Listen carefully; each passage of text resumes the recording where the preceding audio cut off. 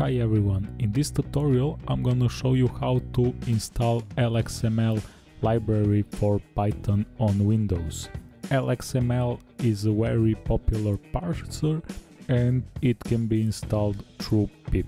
In order to do that I'm gonna open Windows command prompt and inside it I'm gonna type command pip install lxml. If this command doesn't work for you, you need to try with pip3 command.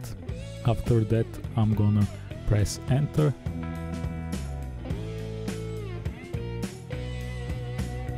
and as you can see LXML is successfully installed on my machine. That's all in this video. Don't forget to subscribe to my channel and to like this video. See you in the next tutorial. Bye.